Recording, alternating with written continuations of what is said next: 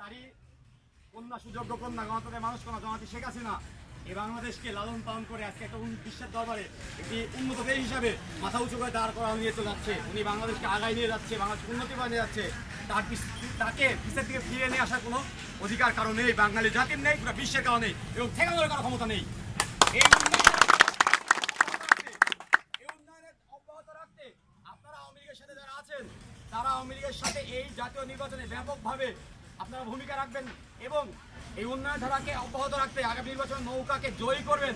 পাশাপাশি যে ষড়যন্ত্রকারী কিছু আছে, কিছু ষড়যন্ত্রকারী আছে যারা আমাদের এই ভালোটা চায় না, কিছু কুচক্রী মহল আছে যে তারা আসলে প্রকৃতপক্ষে দেশের শত্রু, জাতির শত্রু, এই এলাকাবাসীর শত্রু। তাদেরকে প্রতিহত করেই উন্নয়নের ধারাকে অব্যাহত রাখতে হবে। এটা আমি আপনাদের কাছে চাওয়া এবং এটা পূরণের জন্য আগামী নির্বাচনে নৌকাকে ব্যাপক ভোটে জয়ী করতে হবে।